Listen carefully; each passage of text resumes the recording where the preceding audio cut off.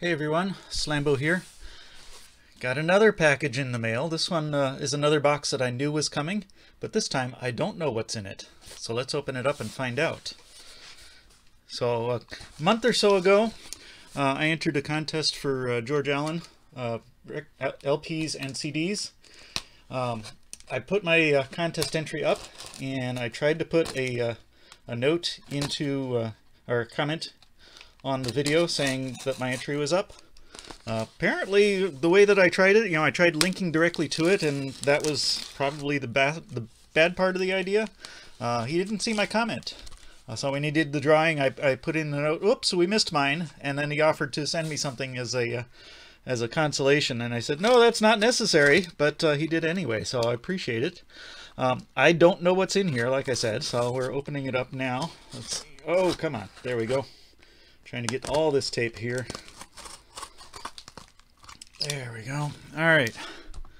So, opening it up here, we got some nice big, big green bubble wrap, so you can be uh, nice and satisfied with that. Looks like a whole bunch of records, so let's do this. might be something on the bottom there. Do it so I'm not looking at each one yet. Uh, okay, so there's a couple of records here. Feels like a, a 10 inch or and a uh, and a 12 inch. So let's see, the, the small one first. We have Sunday Band Concert. Uh, let's see, by Cities of Service Band of America, conducted by Paul Lavalle. So we got Spirit of Freedom, Dixie Carnival of Venice, Ballyhoo, The o Old Oaken Bucket, United Press March, Listen to the Mockingbird, and Big Joe the Tuba on this is fits in really well with my uh, early jazz recordings. On whoops, definitely gonna have to clean this one later. Uh, RCA Victor Black Label. There we go. That looks really nice. Does it say who the band is? City Service Band of America, conducted by Paul Lavalle. Uh, I don't see a year on here. I need to get some 10 inch inner sleeves now too because I got a couple of those that need inner sleeves now. Uh, let's see, down at the bottom there's a handwritten note that says 1953. I would tend to believe that. Uh, let's see. Popular interest in the American-style brass band has recently become nationwide again, and an outstanding reason for this revival is the Cities Service Band of America led by Paul Lavalle. Uh, first historic broadcast on June 4, 1948. So this will be uh, this will be interesting to listen to. This fits in really well with the uh, with the jazz in my collection. So thank you very much for that. Oh, there's a second 10 inch here. Oh, nice. Woody Herman and his orchestra. That's a name I don't know. On another 10 inch, a Columbia LP. Another one that needs an inner sleeve. Let's pull this one out. So we got the nice red Columbia label on that one. There's the front, and there's the back. Nice. What do we got on here? Uh, let's see, CL6026 non-breakable. Well, I, I, bet I could find a way to break it, but I'm not definitely not going to uh, try to do that. This is one that I definitely do want to listen to. Uh, this, again, also fits in well with the uh, early jazz. It looks like the, uh, the outer sleeve has been taped up on the top here, and a little masking tape here on the bottom, so a little bit of uh, repair on that will need to be done, but uh, it works for right now. Let's see, looks like we've got four tracks on here. Summer Sequence, Lady McGowan's Dream, Everywhere, and Back Talk.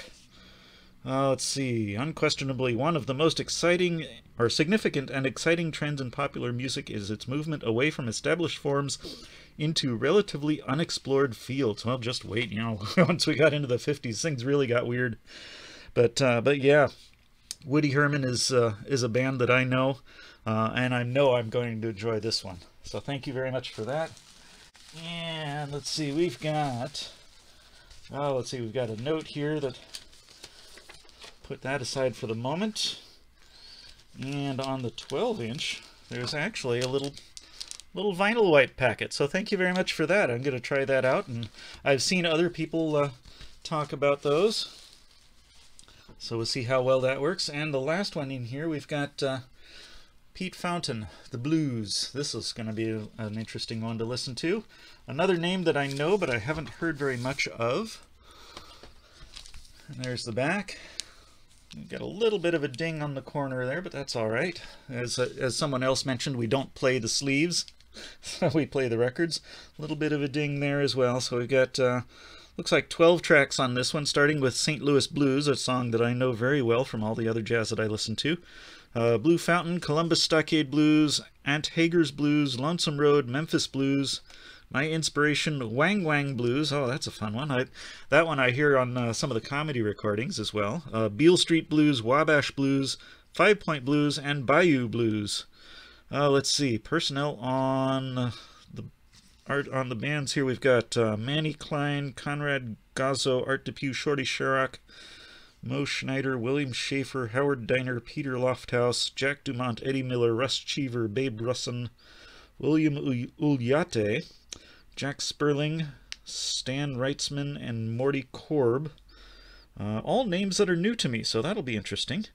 Uh, let's see, looking down further on other tracks where it's slightly different uh, lineup on the tracks, but I'm not seeing any other names on here. So yeah, um, Pete Fountain is a name that I recognize. Uh, let's see, cabinets or clarinet solos with orchestra directed by Bud Dant. So it's kind of hard to read the uh, script font there, but uh, yeah, almost looked like cabinet. Uh, let's see, Pete Fountain is back in jazz where he belongs. The clarinetist from New Orleans has returned home to swing a little, as he engagingly put it, and live the life that I know best. Uh, though grateful for the exposure and recognition accorded him while the swinging member of the Lawrence Welk TV family became progressively apparent to Fountain during his two-year tenure with the Welk organization that the association could not be a lasting one. I guess champagne and bourbon don't mix. Well, I could agree with that one. but, but yeah, that's going to be a fun one to listen to. Uh, let's see, on Coral Records. And we got the uh, nice vinyl in motion inner sleeve on that one. We'll pull that out so we can take a look at both labels. So we've got, there's one side, and there's the other. So yeah, two 10 inches and a 12 inch plus a vinyl wipe. Uh, unexpected or unnecessary to send, but uh, very well appreciated. Uh, these are, at least two of them are bands that I had heard before, or names that I had heard of before. So I appreciate that, and they will go very well with the uh, early jazz recordings that I've I've been collecting. Uh, I've got another one to show in another video that I just purchased this week at uh, Thrift Shop, so that's coming up in another video. Uh, you'll see that one as, as well pretty soon. Uh, but that goes right along with these that uh, that just came in the mail. So thank you, George, for th for this. Looking forward to listening to these. I'll probably spin them this afternoon after I finish recording all of these. So thank you very much again. Please go subscribe to George Alan LPs and CDs if you're not already.